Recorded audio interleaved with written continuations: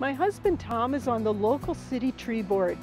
He is very concerned about emerald ash borer, especially since this insect has now been found in a community less than 60 miles from where we live. I wanted to find out more about EAB, so I called on a friend Joe Zeleznik, who is an extension forester, to fill me in. Then we'll travel to Marshall, Minnesota to find out what their community and all of us can do to get ready for this awful pest and help prevent its spread. Funding for Prairie Yard and Garden is provided by Heartland Motor Company, providing service to Minnesota and the Dakotas for over 30 years in the heart of truck country. Heartland Motor Company, we have your best interest at heart. Farmers Mutual Telephone Company and Federated Telephone Cooperative, proud to be powering Acira pioneers in bringing state-of-the-art technology to our rural communities. Mark and Margaret Yackel Julien in honor of Shalom Hill Farm, a nonprofit rural education retreat center in a beautiful prairie setting near Windom, Minnesota. And by Friends of Prairie Yard and Garden, a community of supporters like you who engage in the long term growth of the series. To become a friend of Prairie Yard and Garden, visit pioneer.org forward slash PYG.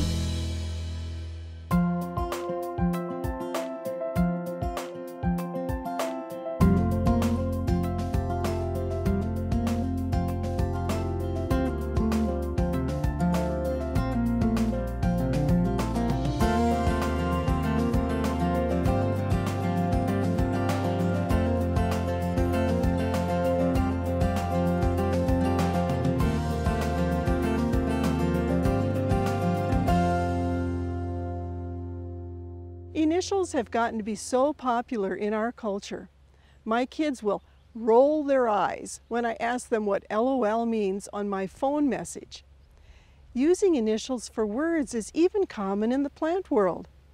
The people in my generation will remember DED, which was short for Dutch elm disease.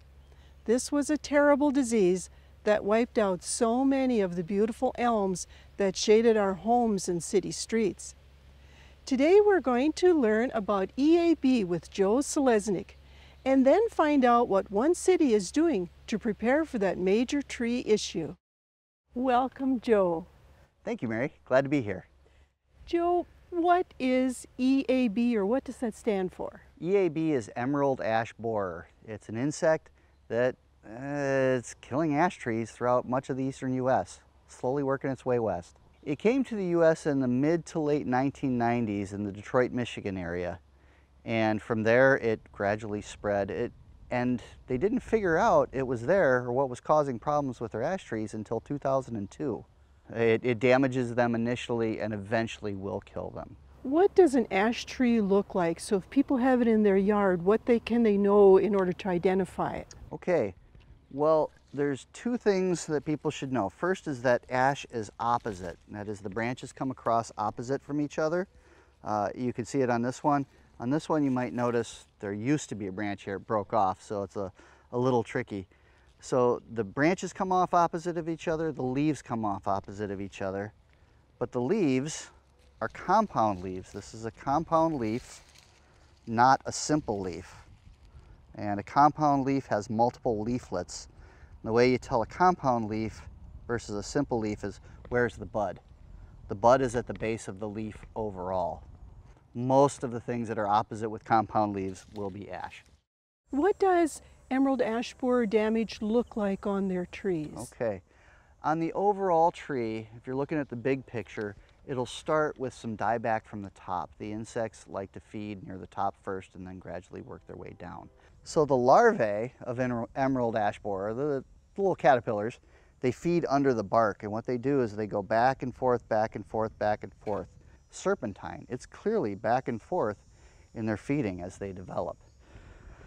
This tree was hit by lots and lots of emerald ash borers. So early on in the infestation, when there's just one or two in the tree, we'll see this. Later on, we'll see galleries, feeding galleries going everywhere. Uh, the other thing I want to point out is that this girdles the tree so the top uh, gets starved of water and nutrients from the soil. So then the roots get starved of the sugar that's coming down from the leaves. So it's a, it's kind of both the top and the bottom get starved in different ways. What do the um, adults and also the larvae look like? Okay, the adults are a metallic green I've never actually seen one. I've just, I've seen little samples in a vial, and, but I've never actually seen one. Usually the metallic green insects that I see are the six-spotted tiger beetle you might be familiar with. Very pretty, very pretty. And some uh, metallic wood borers. Uh, so I've never actually seen the adult of emerald ash borer. The larvae are kind of a creamy white segmented. They've got these bell-shaped segments and uh, that's one thing that's really distinct about them is that bell shape. Because again, some of these native borers look a little bit similar. And the other key identifier for the larvae for EAB are uh, they have these two little prongs sticking out the backside. They're called urogomphi, technically, uh, and they're only on EAB. You don't see them on our native ash borers that might look similar. How do the emerald ash borers travel or spread? You know, the adults can fly, generally maybe they fly about a half a mile. They could fly up to 10 miles. Generally it's firewood, firewood or pallet wood. Uh, sometimes if the bark is still on the wood, that can cause problems. That can transport insects hundreds of miles. Buy it where you burn it. I, I, I love that phrase. Uh, it's very simple and straightforward because even out here on the prairie, there's enough trees that, that there are firewood, there is firewood available from local vendors. So if people have ash in their woodpile, they could actually be harboring. They could. Uh, up to two years, I believe, is how long it could take uh, the insect to develop under the bark. Uh, the other part is, if, uh, if a piece of firewood, it is gradually drying out. But uh, if it's fresh firewood, yes, there could be an insect under there. If people have a beautiful ash tree and they really want to save it, is there anything that they can do? Sure, sure. There are a couple of insecticide options. Uh, varying, there's a lot of details here, varying effectiveness, uh, varying cost. One is called imidacloprid, very common, incredibly common. Uh, you can buy it at most garden centers or it can be applied professionally. That one's very simple. You mix it up according to the directions, apply it at the base of the tree, let the tree take it up. And that is pretty effective. It's, it's not the best, but it's, it's pretty good. And homeowners can do it, and it's fairly inexpensive. There's one related to that called dinotefuran that can also be applied to the soil, but actually that one is often applied as a bark spray and uh, it gets it moves a lot quicker. It gets absorbed through the bark, moves a lot quicker to the top of the tree. Uh, otherwise, it works pretty similar to the imidacloprid. The third one has the active ingredient called emamectin benzoate, and that one can only be applied by professionals. And that one is applied as an injection into the stem. Now that one is very effective, 99 plus percent effective at killing EAB adults and some of the larvae. So uh, it might be worth your while. And the prices, because of competition, have come down. The emamectin benzoate also has a two-year residual. The imidacloprid, the dinotefuran, really are only a one-year residual. You have to treat every year. Where can people go or what can they do if they need more information on EAB? Uh, for more information, I'd say go to your State Department of Agriculture website or the state Department of Forestry, and it's a little different in North Dakota versus Minnesota versus South Dakota. Uh, in North Dakota, we have the, state, the North Dakota Forest Service. In Minnesota, you have the Minnesota DNR Forestry Division. And in South Dakota, the forestry program is actually part of the State Department of Agriculture. I would also recommend uh, the Extension office, either in your county if you have one, or in your state uh, at the regional level. Well, thank you so very much for all of the great information. Oh, you're welcome. Glad to be here.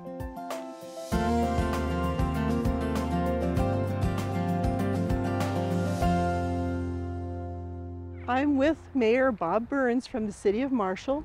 And Bob, why does the city feel it's important to have a lot of trees here? Well, you know, trees make neighborhoods, and uh, the um, trees are not a natural part of uh, of this area, so we introduce trees, and you know it does uh, provide shade, and it makes neighborhoods, and um, really makes the community more livable. You also have a planting project that was along a highway corridor, is that correct? Well, we have a number of uh, planting projects every year that we do, but the, the one that I'm actually really interested in is along our Saratoga Street, both the street and then there's a boulevard and then a bike trail. And we uh, deliberately planted a variety of different species of trees there. And, our, and then we labeled them, we identified them, and our purpose there was that really to provide some education for homeowners and people in the community that um, really uh, may not be familiar with different species of trees, but uh, can look at, walk down the bike trail, uh, look at different trees, what the shape they are, how they appear, and then uh, help them make a selection for their own yards. Why did you use a bunch of different kinds of trees rather than have them all look nice and uniform and neat along the road? Well, we're really interested in diversity of tree plantings in the, in uh, the community, and of course we're anticipating the arrival of uh, emerald ash borer, uh, which will be devastating for our tree population. Over 50% of our uh, of our trees in the community are ash trees. So. Uh, so we really have been working to uh, diversify and introduce plantings uh, in anticipation of emerald ash borer arriving. How did you decide what trees to plant out there? Well, a number of considerations. One is will they grow here? I mean, we're, we're in a windy environment and uh, we want trees that will be durable so that they can withstand the, the wind. But we also looked at other factors like uh, are, does that tree, when it uh, grows and matures, will it cause any problems with visibility around an intersection? Will there be any safety? Will it cover up any signage? uh, that is along that roadway. And when we're in a boulevard where we, you know, space is constrained, we want to be sure that the, the root mass isn't going to interfere with either the curb on one side or the bike trail on the other side. And, you know, in many cases that could be a sidewalk in front of a home. You know, it's along a street, so we really needed trees that, and species that, um, you know, can take the heat that would be reflected off of the street. Uh, you know, the snow that would be uh, plowed off of the road and perhaps some salt. So we need, need uh, trees that uh, provide that durability. So, so that's why we selected a variety of trees. And, and one of the, the species that we did introduce there is uh, uh, um, elm trees. And of course, elms uh, 50 years ago in this community, we lost most of the elms. And um, that they were replaced mainly with green ash trees. And we don't want to repeat that, uh, that again, where we replace the ash trees with only one or predominantly one species of trees. So for that reason, we have, you know, a number of different types of oak trees that are there, locust trees that are there, uh, elms, uh, and actually it's a Princeton elm. There are probably newer varieties now or, um, and more choices of elms that are resistant to Dutch elm disease. And there's several other varieties of, of trees that are along there too. But they're all identified and now they've been in a few years so you can see the different sizes and growth patterns of those trees. So people just in the community can bike or can walk along and look and see what the different species are and then maybe even figure out what they want to plant in their own yard. Exactly, because I think, uh, you know, most, uh, many, many people, uh, when they're selecting a, a tree, it's very small and you know, it's hard for a lot of people to envision what is that tree going to be like when it's, uh, you know, 10, 20, 30 years down the road. And many times, you know, you know, it's uh, turns out differently. It's either a different size or shape, or you know, you know, sometimes we end up with the the right tree in the wrong place, and we don't. We want to help people to avoid some of those those mistakes. We actually have a very uh, dedicated um, uh, park staff and and our uh, public ways uh, um, staff also have helped a lot with that. So, you know, it took watering, you know, for the first year, but, uh, you know, that's not practical to do beyond year one. So that's another good reason for selection of trees that really do not require a lot of maintenance. I think all communities that, you know, are, are preparing for the effects of emerald ash borer. And so, you know, what we've done and what I'd encourage others others to do is um, it is coming and to anticipate that, and it will be devastating. And there, while there are some treatments, there's probably no practical treatment for citywide. We look at a park like this, and it's you know wouldn't be feasible to do a, a chemical treatment for that. So really, the best thing we can do is start now with planting different varieties of trees, so that when the ash trees all need to be removed, that there's other trees that have a head start. I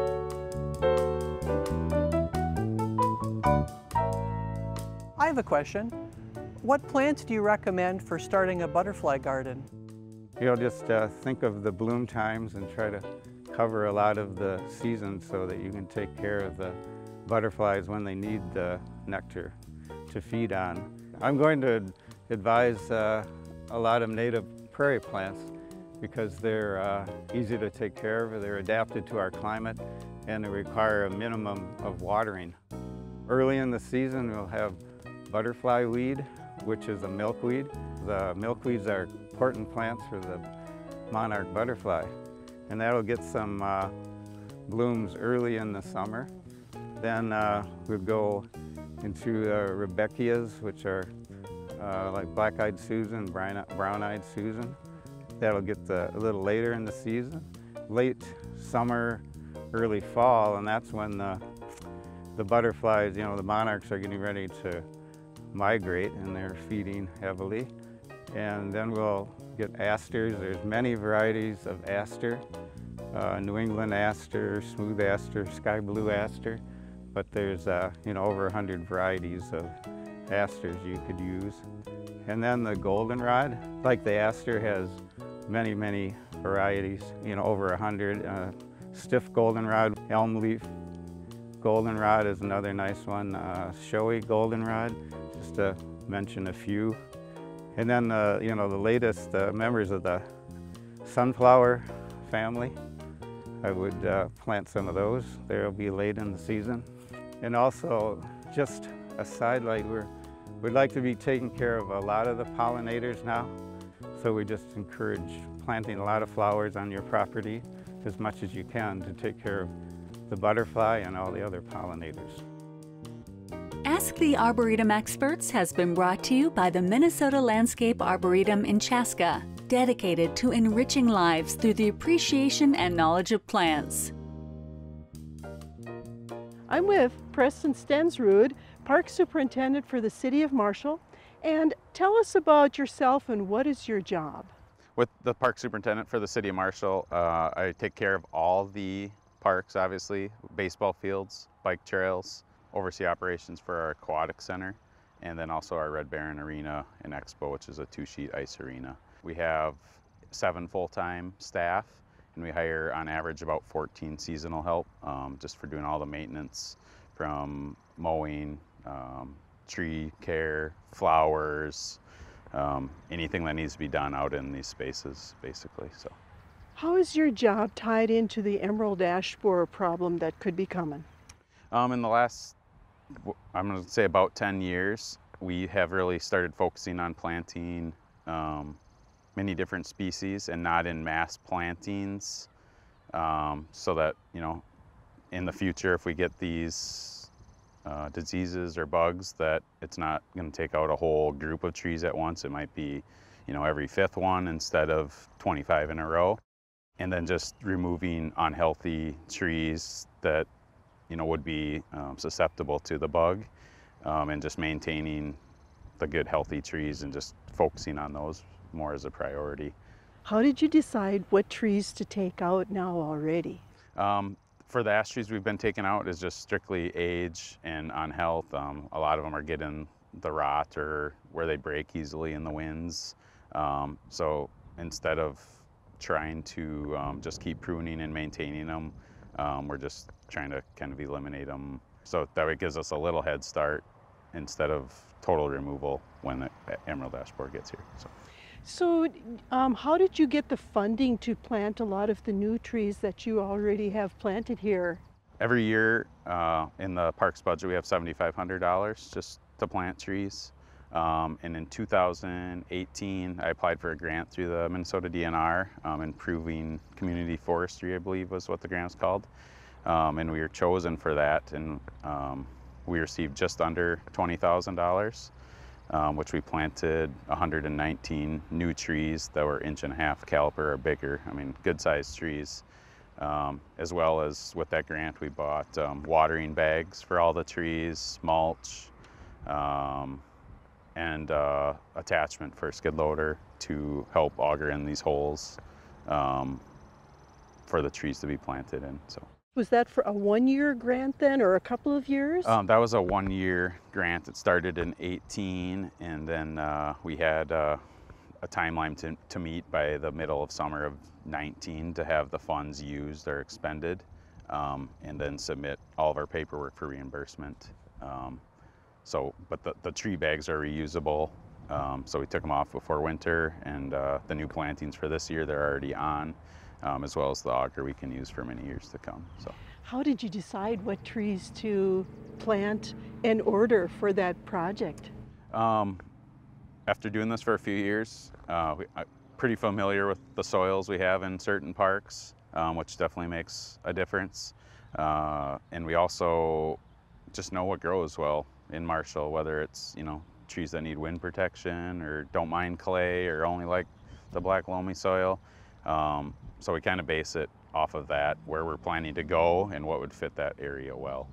But you ordered numerous species, I believe, right? Yep. Um, I th think there was eight or nine different species, um, like locusts, hackberry, oak, the new elms, crabapple, um, Kentucky coffee tree, um, just to name a few. I think I left out a few. But. Well, that's okay. you went for diversity anyway. Yep, yep. And other than uh, some birch, which I didn't mention. We did put those in more of a clump, um, but otherwise, uh, any of the plantings, there were no two, two same trees planted next to each other. You got them in all at one time, I would assume. Where did you put them or hold them before you could get them all planted? Um, at the park maintenance shop, we just have a big parking lot and the pool wasn't open, so we just staged them out in the parking lot. And then uh, we have a watering truck, um, so we would just water as needed, depending on wind, temp, rain, stuff like that, until we could get them in the ground. And then once we had them planted, we just watered twice a week, filled those tree watering bags. So, did, did they come in bare root or were they in containers? Uh, containers. Oh, okay. All right. Well, then you have a little bit more of a time leeway there. Did you do all of the planting or did you involve community groups in doing the planting too? Yeah. Um, the goal was to use um, mainly volunteers, but with last summer being so wet, we kind of ran into some um, timelines with the deadline of the grant and when we could get the um, trees in the ground from, uh, you know, getting skid loader out on the turf and stuff like that. Um, so we ended up, I think we had like 16 volunteer hours and then the rest the park staff did. Okay, and you bought some equipment even too to help with all of that planting. Yes, that's correct. Uh, we, we bought a postal auger that went on the skid loader um, with multiple different auger sizes depending on the tree um, size in the pot. Um, and it helped loosen that soil good and we went bigger than the, we needed so that we had some good loose soil um, to put the the pot into when we were done. So That's what I was going to ask, because sometimes when you have an auger, it kind of scarifies the wall and makes it pretty glazed. Did you have to break that up a little bit when planting? Yeah, we, we did that too in combination of uh, going considerably larger than what we actually needed to. So we had a good six, seven inches around the outside that was nice and loose. So Did you add any compost or peat at all when you did the planting? Um, we did not do that. We just put the native soils that were in the area back um, but we did do like a root stimulator on all of them. Um, and then mulch around all of them as well. We do that for all of our new tree plantings. That's what I was going to ask if you mulched around those new plantings too. Yep, for the first couple years we'll maintain it and then once we know that, you know, year 3 or 4, we'll kind of let the mulch just kind of go away or as it fades or breaks down, we just don't replace it. So What did you use for mulch? Um, we get mulch out of the cities. Um, it's just a hardwood stained mulch. Um, you know, you get a good two, three years coverage and color out of some of it. So. Okay. Did you have to do a lot of reporting back on the grant application to show what you did, or um, did you have to submit pictures and things like that too? Yes, we did. Uh, we kept track of all invoices, uh, maps of the different parks that we planted them in or areas and those maps included uh, what species was planted where, um, and then there was an inspector that came out and looked and verified and that they were planted correctly and stuff like that. Um, and that was all good and okayed. Um, and then we had to submit all that paperwork back, as well as like hours staff spent doing it, um, the the tree species and stuff like I mentioned. Um, everything was okayed and it was just a great benefit to the community for future years to come. So, did you have pretty good survival rate on all those trees you planted? Yes, out of the 119 trees, I believe we had four that didn't come out of the winter. Um, so, in my opinion, that would be a highly successful uh, rate, um, and we'll get those replaced yet this summer, but maybe wait till fall now. Um, and then we'll get those four replaced also. So, did you put tree wraps on the uh, trees at all to protect against the critters? We don't normally have any problems with that. I mean, I've seen it very rarely. Um, more of our issue is the wind. Um, so some of them that were susceptible, we did stake. So the trees behind us do have wraps on. Those came um, from the, the nursery that way. We don't apply any wraps to the trees ourselves when you do planting, do you plant on private homeowners' lots also? Um, at this time, we only plant on city property, city-owned property, whether that's in parks or I do have two areas um, that we've started kind of like a tree farm um, that we let mainly evergreens grow. Um, and then when they get, you know, six, eight, ten feet tall, we'll go and spade and move them somewhere else. Um, in the future, I know some cities are considering doing like a tree replacement program for the ash and when emerald ash borer gets to their community, so that might be some kind of program that might exist. I'm just not sure what that would look like at this time. So. Well, thank you for all of your help and for all of the great advice in dealing with emerald ash borer coming down the road. Thanks so much. Yeah, thank you.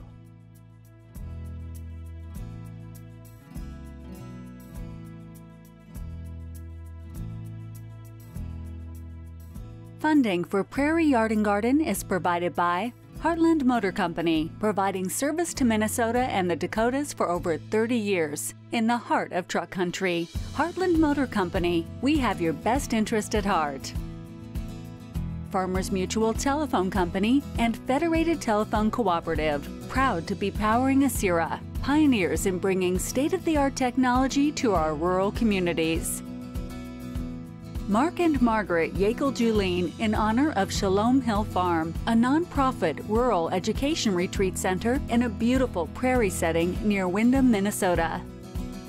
And by Friends of Prairie Yard and Garden, a community of supporters like you who engage in the long term growth of the series. To become a friend of Prairie Yard and Garden, visit pioneer.org forward slash PYG.